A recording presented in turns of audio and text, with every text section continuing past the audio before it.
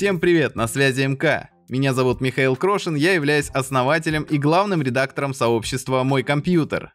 Я считаю, что выбирая какой-либо товар, полагаться на блогеров и обзорщиков в полной мере нельзя. По своему опыту скажу, 90% крупных каналов перед обзором получают с него дивиденды. Конечно, тут нельзя обобщать и называть тесты всех блогеров продажными, но информацию всегда нужно брать из нескольких источников, и альтернативой являются профильные сайты. Да ладно! В моих закладках за 6 лет работы таких накопилось немало. Кто-то пишет обзоры подробно и по определенному сценарию, а кто-то в стиле «у этого ноутбука экран яркий и большой, а у этой материнки красивая RGB подсветка». Выбирая себе новую видеокарту или процессор, читать общие слова очевидно смысла нет. Поэтому мы решили собрать для вас те ресурсы, которые четко и по существу рассказывают о технике в деталях. Приготовьте листочки и ручки, мы начинаем. Бескомпромиссных сайтов с обзорами маловато, и начнем, пожалуй, с них. Ноутбук Чек уже больше 10 лет публикует обзоры ноутбуков, в том числе и переводы на русский язык. И что самое главное, за больше чем 5 лет чтения сайта мы не встречали ни одного рекламного обзора. Абсолютно все попадающие в их руки ноутбуки обозреваются по одному шаблону. И это очень удобно. Вы всегда сможете сравнить, какой из ноутбуков лучше по определенным критериям, начиная от банального веса и размеров и заканчивая скоростью работы Wi-Fi, АЧХ динамиков и температурами в стресс-тестах. Ресурс проходится по абсолютно всем частям ноутбука, и прочитав только лишь один обзор у них, можно легко получить общую картину и понять, стоит ли брать этот лэптоп или нет. Пацаны вообще, ребята. Причем тут нет никакой субъективщины, только объективные тесты в бенчмарках или с помощью сторонних приборов, таких как калориметры или инфракрасные камеры. Серьезных минусов у ноутбук чек нет. Из неприятного можно выделить только то, что не все обзоры переводятся на русский язык. Однако всегда можно перейти на английскую версию и почитать его с помощью Google Translate. Также сайт составляет рейтинг мобильных процессоров и видеокарт. Крайне удобная штука, ибо зачастую не всегда понятно, на каком уровне производительности находится та же Radeon RX 5300M, а сайт четко выдает ее бенчмарки и место среди других решений, в том числе и десктопных, и сразу становится понятно, что от такой видеокарты ждать. 3D News, пожалуй, один из самых известных и старейших компьютерных ресурсов Рунета, и его сильная сторона — это хорошие тесты процессоров, материнских плат и видеокарт. Каждый такой обзор начинается с интересной и подробной теоретической вставки, где описывается архитектура того или иного CPU или GPU. Далее следует множество тестов как в играх, так и в рабочих задачах, как в стоке, так и в разгоне. Указывается тепловыделение и температуры, нередко видеокарты разбираются и оцениваются внутри. Для материнских плат указывается также нагрев ВРМ при длительной серьезной нагрузке. В общем, ресурс подходит к тестам достаточно серьезно. Кроме того, на сайте временами случаются интересные эксперименты, например, по скальпированию процессоров. Также большой плюс то, что все тесты железа проводятся в сравнении с конкурентами, что опять же позволяет быстро оценить его уровень. Каждый месяц сайт публикует несколько сборок под разный бюджет. К тому же 3D News тестирует и прочие комплектующие, такие как SSD, жесткие диски, блоки питания и ОЗУ. К ним опять же придраться сложно, все они проверяются по одному шаблону и всегда выводятся в окружении конкурентов, что упрощает выбор. Разумеется, сайт делает и обзоры ноутбуков, и их можно назвать неплохими, но не идеальными. Ноутбук чек в этом плане куда удобнее. Процесс тестирования видеокарт, процессоров, платы и прочих комплектующих вполне понятен. Но что делать с мониторами? У них различных параметров зачастую чуть ли не больше, чем у процессоров. И в Рунете есть сайт, который по косточкам их разбирает. Это 4К монитор.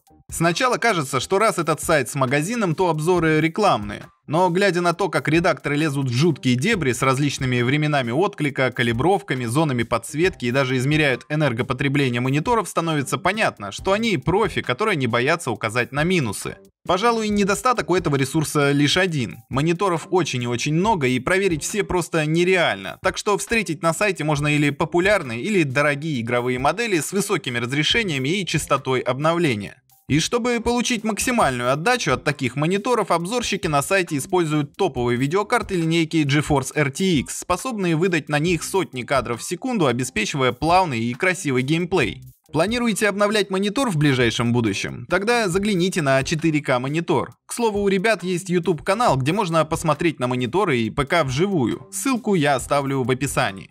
Overclockers. Пожалуй, это два самых известных сайта, на которых собираются оверклокеры и не только. Два, потому что есть российские и украинские ресурсы. Они пишут разные материалы об одном и том же, так что имеет смысл читать их оба.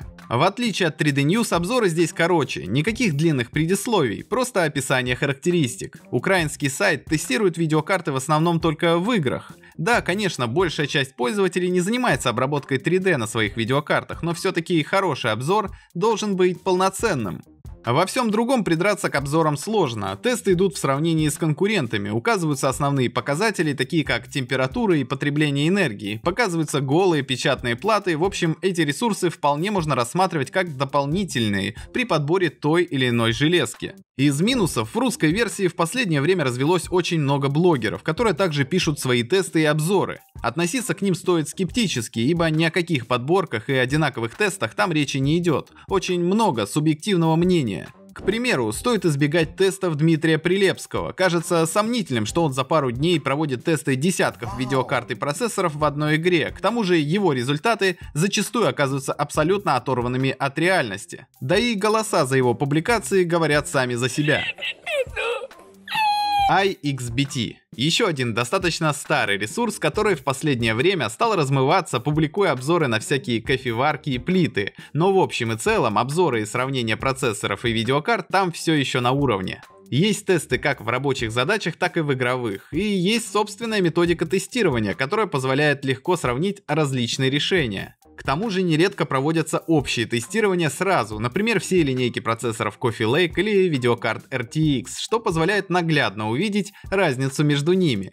А вот обзоры материнских плат в последнее время оставляют желать лучшего. Какие-то детские каракули на картинках, подробное изучение чуть ли не каждого резистора и вкладки в BIOS. И при этом практически нет дельной информации о том, сколько ватт может отвести ВРМ, какие напряжения плата выставляет по умолчанию, как работает LLC и так далее. В общем, в плане обзоров плат Хобот в последнее время серьезно просел. Будем надеяться, что сайт исправится. Hardware Lux – еще один иностранный сайт, который переводит свои обзоры на русский язык. К качеству претензий почти нет. CPU и GPU тестируются как в играх, так и в рабочих приложениях, а результаты выводятся в красивых и информативных графиках. Посетовать разве что можно на меньшее количество теоретической информации в сравнении с тем же 3D News, но если вам нужны именно тесты, вы пришли по адресу. Обзор, конечно, штука хорошая, но только если в нем есть подробные сравнения с конкурентами. И на всех ресурсах, представленных выше, они и присутствуют, но есть одно но. Почему-то некоторые сайты, разгоняя CPU и GPU, сравнивают их с конкурентами в стоке, что не совсем честно. Gasit.com делает в этом плане интереснее. Сначала обозреваемый объект сравнивается с конкурентами в стоке, а потом разгоняется и сравнивается с ними же в разгоне. Это дает куда более честные результаты. Что касается самих обзоров, то они очень подробны, но опять же минимум теории. Но вот графиков, таблицы и видео хоть отбавляй. Так что можно получить максимально полную картину о производительности той или иной железки.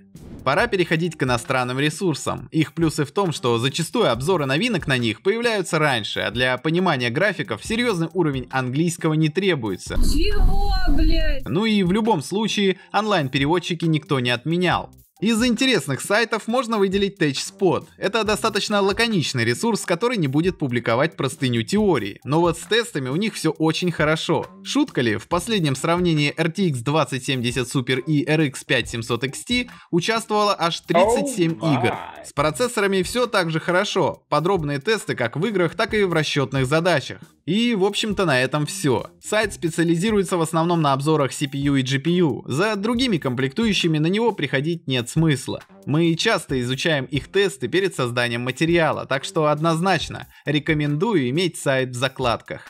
Guru 3D. Как видно по названию, этот сайт специализируется на обзорах видеокарт и опять же делает их хорошо. Так, RX 5600 XT еще не успела толком появиться в магазинах, а этот ресурс уже рассказал о четырех различных ее версиях. К обзорам Guru 3D подходит основательно. Тут и фотоплаты, и информация об обновлениях видео BIOS, и разгоны, и тесты в куче игр, измерения шума и многое другое. В общем, если вам нужен детальный обзор какой-либо видеокарты, вы по адресу. Конечно, тут можно встретить тесты SSD, даже мониторов, но стоит понимать, что это не их основная специализация, и за этим лучше идти на другие ресурсы.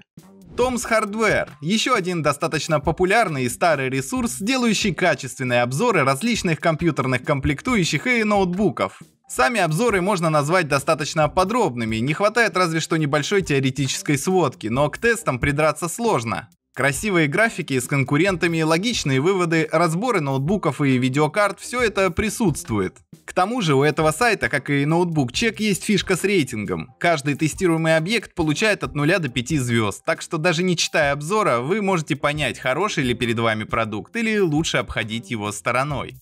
Ну и самое вкусное мы решили оставить под конец. Tech Power Up. Просто сборник всего, что связано с компьютерами. Тут есть различные утилиты, бенчмарки, коллекция видеобиос, рейтинги видеокарты и обзоры всего компьютерного. Само качество обзоров на достаточно хорошем уровне, но все же временами не хватает полных тестов. Так большая часть видеокарт тестируется только в играх. Процессоры при этом тестируются максимально подробно, даже в браузерных тестах, но слегка не хватает теории. Но в любом случае, это отличный агрегатор, где можно найти обзоры не только CPU и GPU, но и блоков питания, кулеров, мониторов, клавиатур, корпусов и многого другого.